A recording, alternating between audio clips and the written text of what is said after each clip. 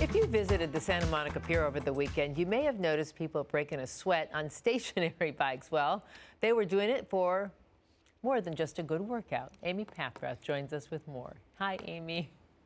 Hi, good morning. Giselle, if you've ever gone to summer camp, we know it's a seminal time in a young person's life, and it's where actress and philanthropist Joyce Hyser Robinson discovered she wanted to act. Now she's providing that same opportunity for self discovery to many more kids in Watts, thanks to Pedal on the Pier, an annual fundraising event at the iconic Santa Monica Pier. Summer is a vibe, and philanthropist Joyce Hyser Robinson is feeling it. We introduced the summer here on the Santa Monica Pier. Pedal on the Pier is her nonprofit, the Harold Robinson Foundation's biggest fundraiser.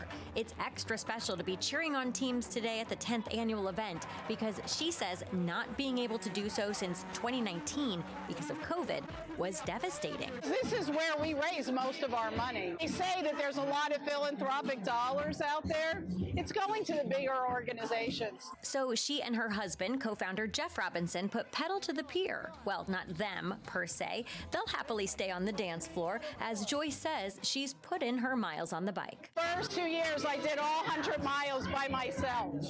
I wasn't walk for a week.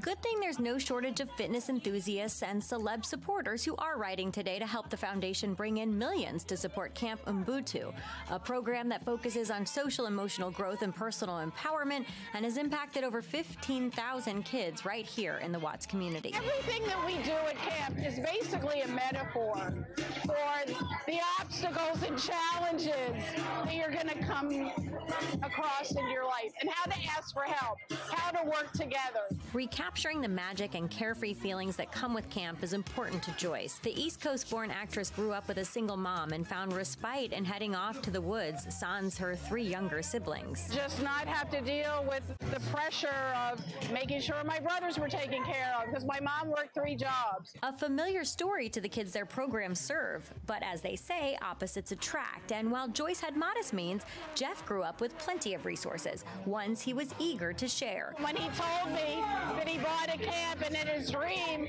was to be able to provide an opportunity for kids who didn't have the same opportunities that he had, I was like, all right, this is it. This is love. now, in 2022, the pair look on as teams of riders sweat in the sun on bikes going nowhere, but have the ability to take a child everywhere. If this kickoff is any indication, summer is off to a successful start. Harold Robinson Foundation began as a scholarship program to send kids to camp and has grown into what it is today. You can learn more at haroldrobinsonfoundation.org. I love it. Pedal on the pier. What else is the money used for? Well, great question, Giselle. This year, the event has a $1 million goal, and there's still time to donate. Those funds will send kids from 20 different inner city schools to Camp Ubuntu for an all expenses paid retreat, summer camps, and weekend programs in Watts. About 150 kids will attend the five week summer camp starting on June 27th.